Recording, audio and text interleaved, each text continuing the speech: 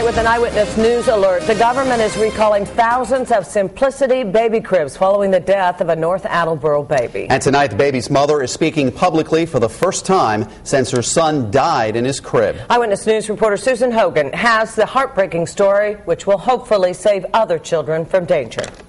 It took so much for this young mother to speak to us tonight. Although it has been two years since her one year old son died in his crib, the pain will always be there, fresh in her mind.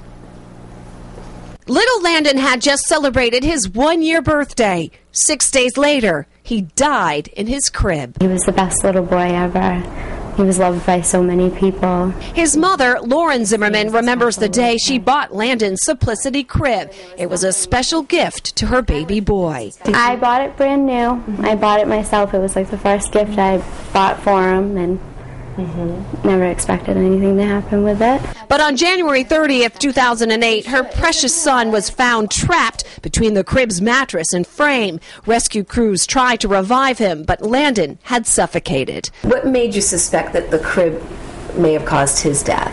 Well, after he'd passed away, we had looked underneath the crib and saw that one of the metal supports had dropped and had, be, had fallen loose. In fact, this is a picture of Landon's broken frame that was taken by investigators with the Consumer Product Safety Commission, evidence that led to the Simplicity crib recall. The recall includes all Simplicity full size cribs with tubular metal mattress support frames. The recall involves fixed side and drop side cribs. According to the CPSC, the support frame can bend or detach and cause part of the mattress to detach, creating a space where a baby can become entrapped. It happened to her little boy, and she wants to make sure it doesn't happen to any other baby at all. I was absolutely devastated. You don't expect to put your child to sleep at night and something happened to them. You expect them to be safe in their cribs.